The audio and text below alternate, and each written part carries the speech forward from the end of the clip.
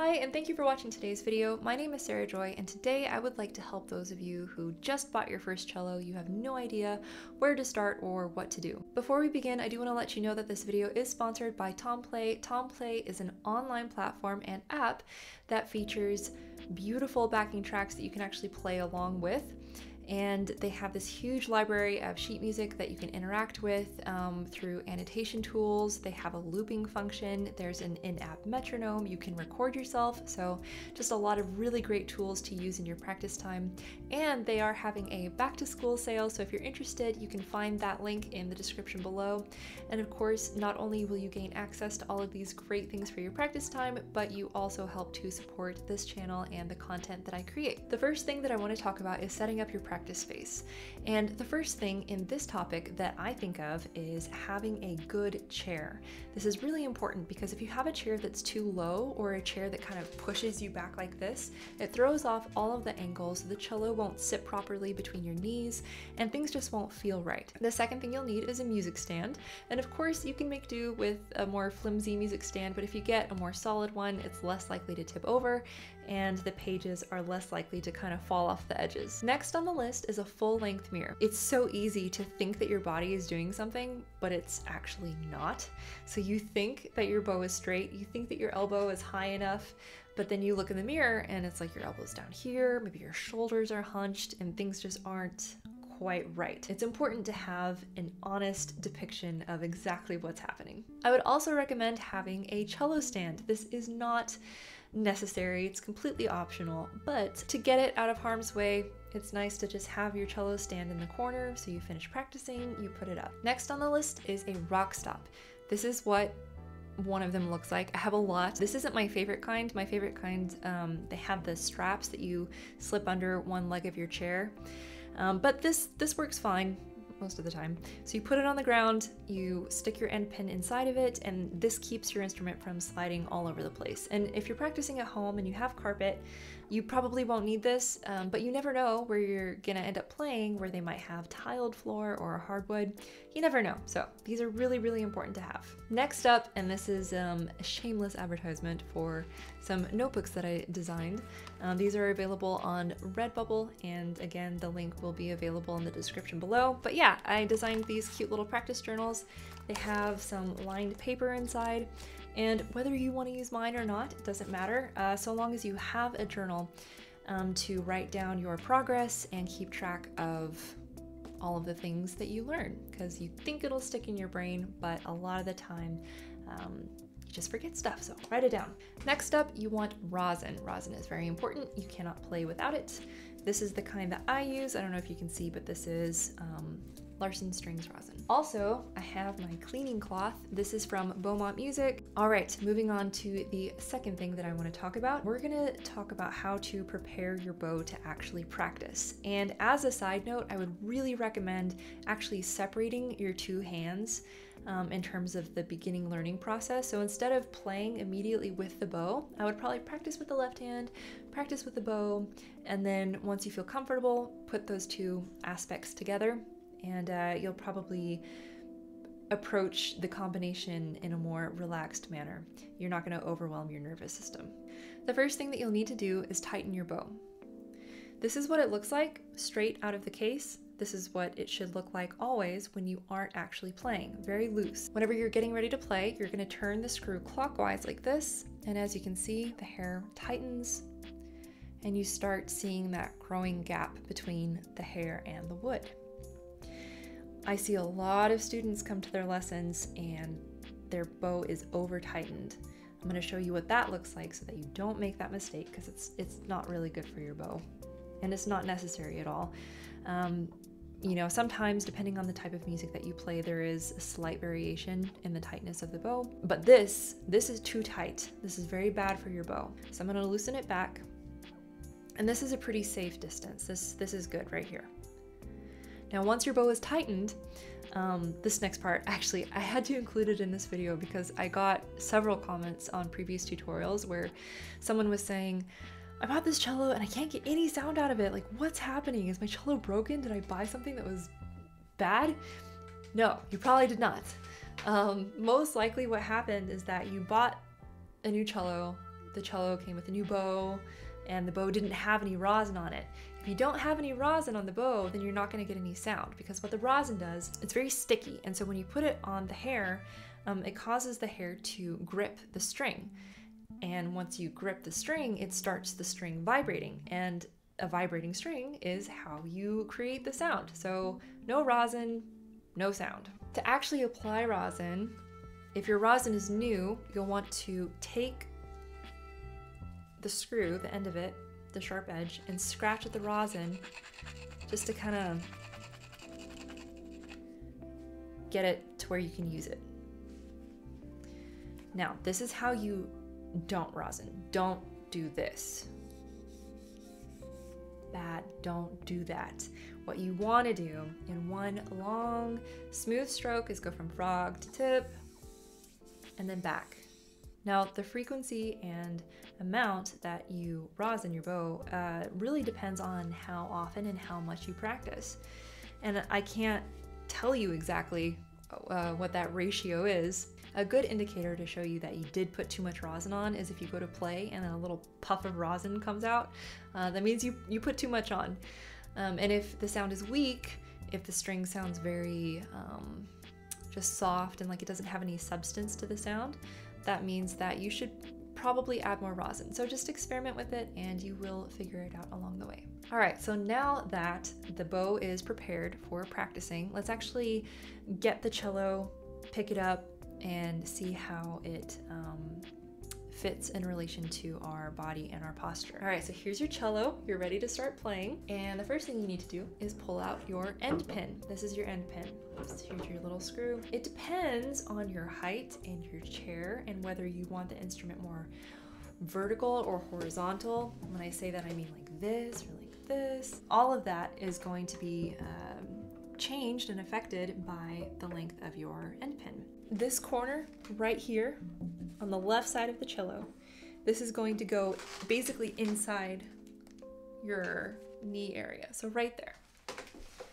This curve right here,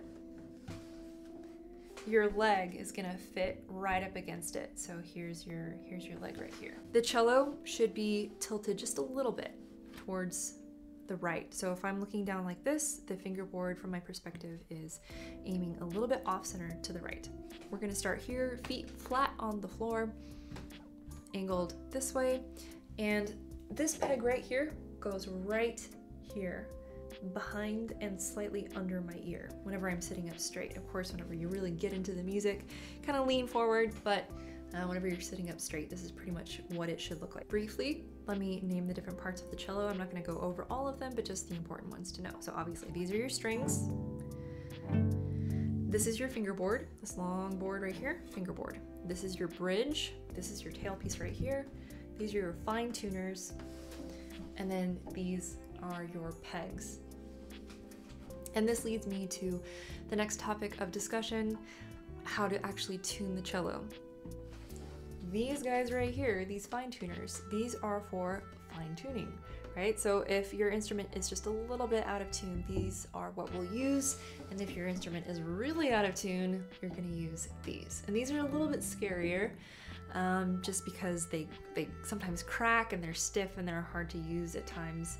Um, but that's what you got to do if it's way off. I know a lot of people are against using a tuner, but I think for beginners it's useful just so that you have a visual representation of whether you're flat or you're sharp and, and correlating that to what you're hearing. It's like, all right, that I didn't know that that was flat, but my tuner is telling me it's flat, so I know what that sounds like now. So I think a tuner is good so long as it doesn't become um, a crutch. I think an even better option is to use a drone. And this is uh, what I use for a drone. It's also a metronome. It's a little bit pricey, um, but I think it's worth it. And so what you do with the drone is you turn on a pitch. So this is A. I'm about to play A.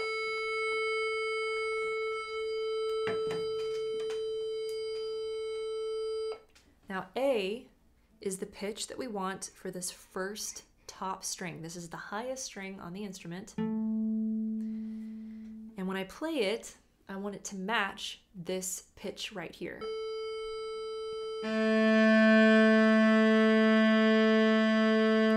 It's close, but it's not perfect.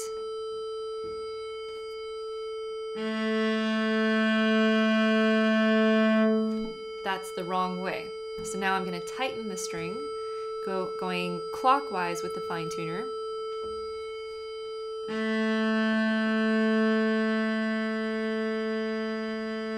That that's good enough for now. So A is always the string that we tune first.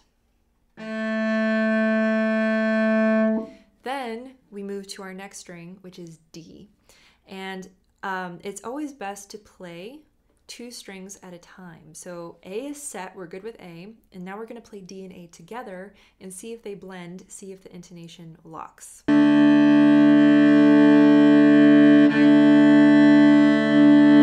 That's good enough for now. Now we move on to G. We'll play G and D together. As you can tell, that sounds horrible. Not good. Our strings are tuned a fifth apart. So this right now, yeah, that's that's not G. Um, and uh, I don't know if you can tell this yet, but it is very flat. So we are going to have to uh, turn the fine tuners clockwise to tighten the string and raise the pitch.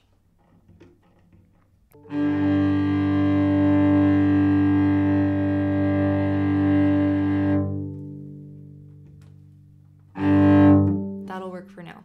Then we move on to C, C, and G.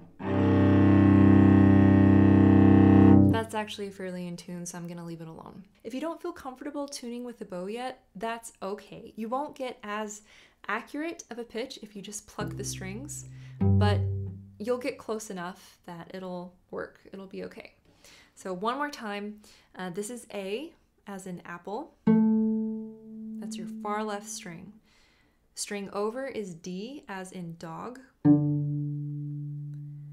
Here's G as in uh, garden. Here's C as in cat. So A, D, G, C.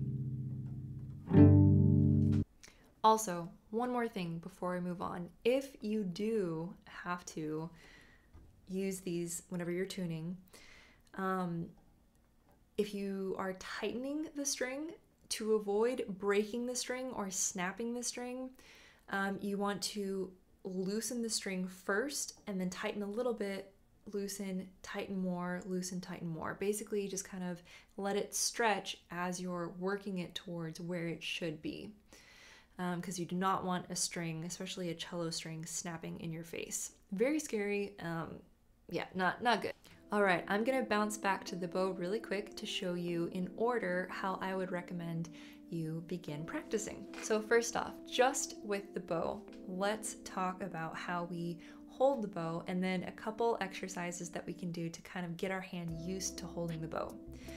First off, here's the screw like I mentioned before. Here's the frog. This is the frog. Here, that little dot is the eye. This is the hair of the bow. Do not touch do not touch the hair. Your finger oils will get all over it and mess up the sound. This is the stick, and then here's the tip. My teacher showed me how to hold the bow by just flopping out my hand like this, very relaxed, where my thumb has a slight bend to it, my fingers are kind of curved into my palm, and then I just flip my hand over onto the stick. And my pinky lands on the dot, my third finger lands on the metal, Second finger just kind of hovers around somewhere, and then first finger, the bow, whenever I'm playing lightly, sits in this first joint, and whenever I'm playing more intensely, inevitably the bow will start finding its way to this joint right here. So this is generally what it looks like. And of course, there are many different ways that you can hold your bow. You have to adjust it to fit your hand. So if this doesn't feel right, if it's causing you tension, then you need to ask someone else, go watch some other tutorials and find what works best for you because you do not want to be sticking with something that's just going to cause you pain and frustration. Um, also, if you're a young person watching this video and you haven't really developed your muscles much yet, you can also scoot up your hand um, into this area. I suppose you don't have to be young, just basically if you want it to be easier to hold, if this feels too heavy, you can scoot your hand up here just for a little while to get used to that shape. Um, and then gradually, you know, you can move down here whenever you're ready. So this is your bow hold. Now, a couple exercises that I would start with is just this really lazy windshield wiper where you feel the weight of the bow rocking back and forth. You're not twisting your arm or your elbow. You are isolating your hand and your you're isolating your hand and your fingers to be in total control of the bow. And really what you're going to feel is this interplay between the pinky, the thumb, and the forefinger. This other exercise um, does a similar thing where you're just basically moving between these three fingers thumb, first finger, and pinky. So you have the hair towards the ground or facing the ground, um, and then you draw a little circle with the tip of the bow. So you're not doing it with your wrist, you're not going crazy like this, you're not doing it with your forearm or your shoulder or anything. You're just doing it with these fingers right here. You can draw a big circle, small circle, whatever you want to do. Uh, this helps with agility, um, just the looseness of your bow hand, basically, getting you used to that. Now, to actually play on the instrument with the bow, still not adding in the left hand, what I would recommend is just some nice long open strings. So open strings mean that we are not using the left hand. So open A would be right here. And just I would recommend doing this in front of a mirror for this main reason. It's really easy to think that your bow is straight when it is not. On the A string, you actually want your bow, your hand, to go out this way. Because if your arm just does what it wants, look at how crooked the bow is right here. If I'm doing what my arm wants, by the tip of the bow, it's going to be really, really crooked. Sounds terrible. You don't want to saw at the instrument. You want to gracefully start here, point out to have a straight bow, and then of course come back on the up bow. Like that. And you'll know if your bow is crooked if it starts dragging to a different part.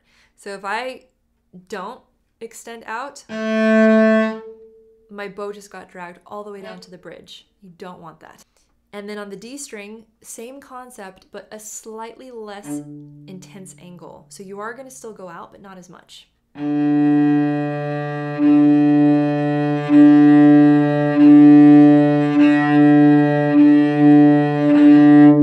G, you actually start going back behind you just a little bit. And then for C, you mm. really want to go back behind you. And the reason we have to adjust our angle is just because of the curvature of the bridge. So out, a little bit less, a little bit behind, more behind.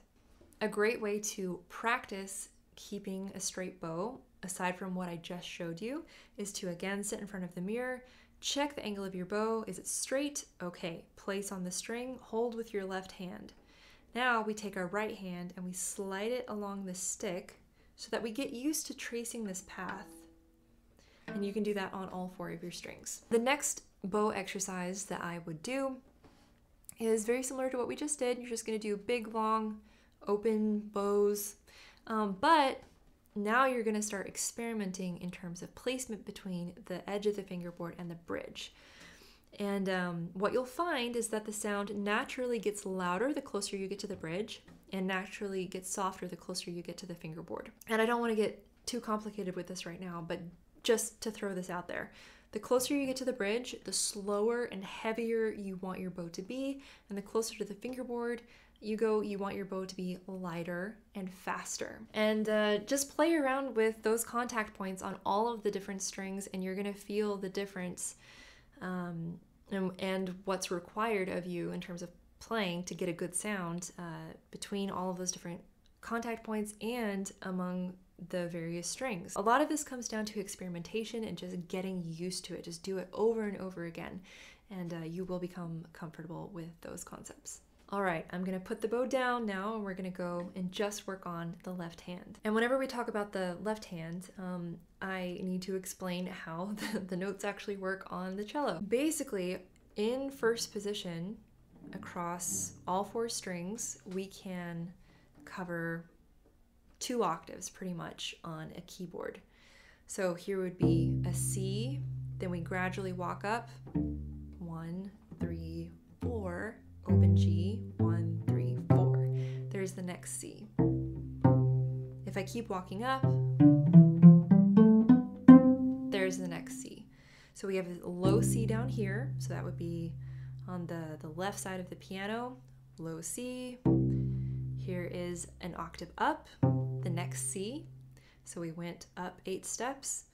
Um, here's the next C. This is middle C on the piano. So middle C on the piano is finger two on the A string in first position. And C is the same note no matter where you play it. It's a C. It's just a matter of what octave it's in. So low C, higher C, middle C, and so on. There are more C's up here. Um, now, to actually find first position, um, you're going to need to understand what a half step is and what a whole step is. A half step is the smallest interval, the smallest distance between two notes that we have in Western music. So you can get into quarter tones, but we don't really deal with that in uh, Western music, basically. Um, so a half step would be, let's say, open A. Smallest step you can go is up to B flat. A, B flat. Half step. Going up another half step would be B flat to B. two half steps put together create a whole step. So from A to B is a whole step. A whole step up from your open strings with finger one, this is finger one, two, three, four, finger one, that's where first position is. So A, up a whole step, finger one on B, that's first position. D, E, first position here. All of that is in first position. And the easiest scale to start with in first position, especially if you just want to play on the top two strings, would be D major. Now, I don't want to get into all of the theory as to why D major has two sharps, but if you're interested in looking that up, I would recommend looking up the circle of fifths. Here's D, open, finger one on E. Now, next up, if I played a finger two, that would just be F but we want F sharp. So I'm gonna play three instead. So open, one, three, four on G, open A, one on B, three on C sharp, four on D. So we went from a D to a D, which is one octave. So this is a one octave D major scale. Super easy. You can practice just with the left hand at first and then apply the bow later. So let's do it together. Here's D, E, F sharp, G, open A, B, C sharp, D. And there you go, one octave D major scale. And a great way to build strength in your left hand is to actually tap out the notes without using your right hand to pluck and you'll kind of hear the pitches come through. What you don't want to do is hit the note and then squeeze and just squeeze like this. That's not so good.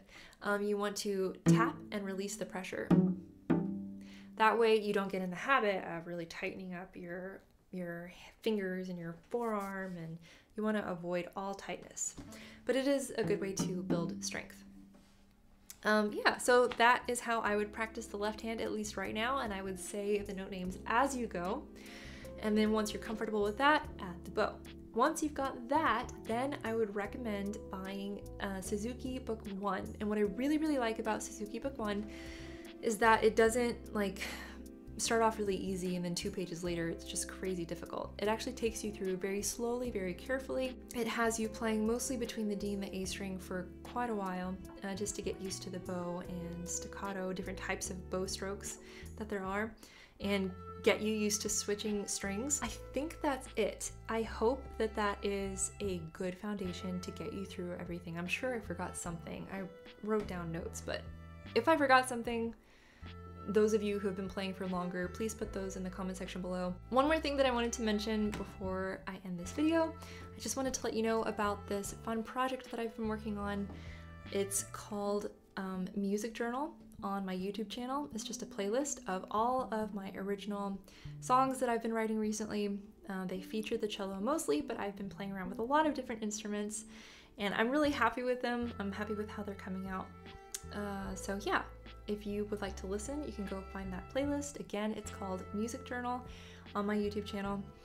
And I hope that you enjoy what you hear. And okay, I'm done. That's it. No more. Nothing else to say. I hope this video helped you and uh, stay tuned for my next video.